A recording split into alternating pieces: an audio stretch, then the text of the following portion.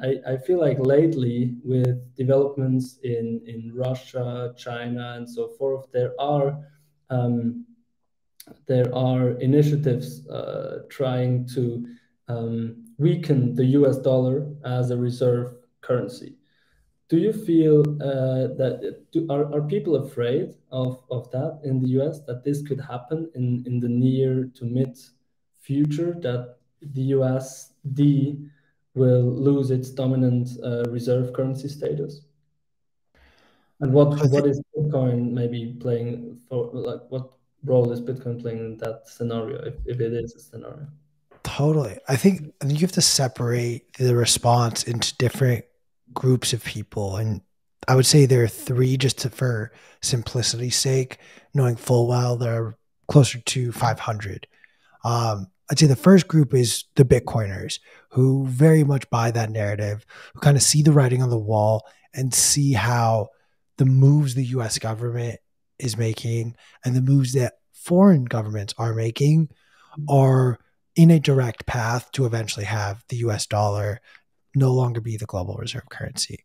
I think there is a sentiment, and I'll speak for myself mainly, that should more countries be granted the ability to price oil in their own native currency.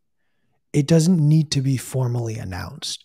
It doesn't need to be a declaration from OPEC or from the EU or anywhere else saying, hey, the dollar is just, it's not the global reserve currency. To me, whatever is the global standard to price oil in will be, in the intermediate term, the global reserve currency.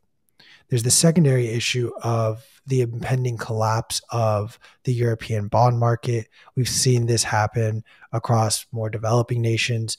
We see the collapse of the Japanese yen. There's now another class of people who I think actually think in the shorter term, the strength of the dollar will continue to increase. But it's only inevitable that with that increase, now there's added pressure.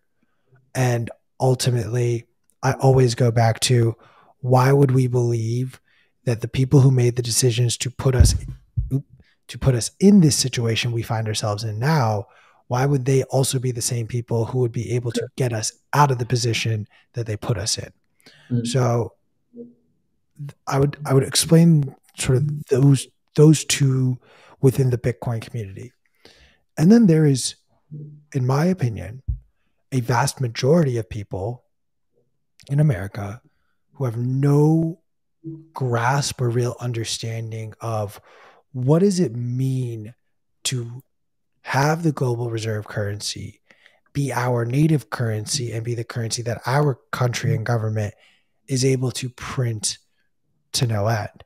And for the vast majority of those people, they can be told all of these things and yet would rather just say, but it doesn't matter. Like the US dollar has existed my whole life and it will continue. And there's a lot of denial, I think. Um, I have it amongst close friends of mine who I'll have these types of conversations with. And their response will just be like, yeah, but like the government will figure it out. Like the US dollar is just, the dollar's not going to go away.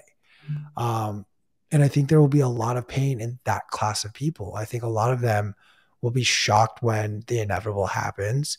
Mm-hmm. Um, and then the, the final group of people, I think, is or mm-hmm. are the decision makers, the people in government mm-hmm. who maybe see some of, but not all of what the class of Bitcoiners see the inevitability of the end of the dollar.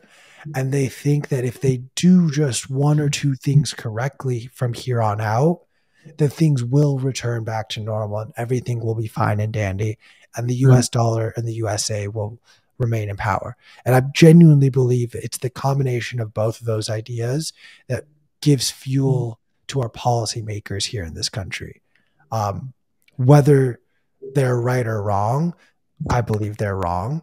I've said for some time now that, like, the best example of this is Jerome Powell coming out in 2021 saying inflation will be transitory. Don't you worry about it. It's not a problem. Only then in April or May, go under oath in a hearing in front of Congress and say, yeah, we made a mistake. We didn't know as much as we thought we did. And that's why we find ourselves here. I have no reason to believe that it, from that moment in time to today, he's learned so much that his decisions will right the ship but mm. I also I think I am in the minority, truthfully.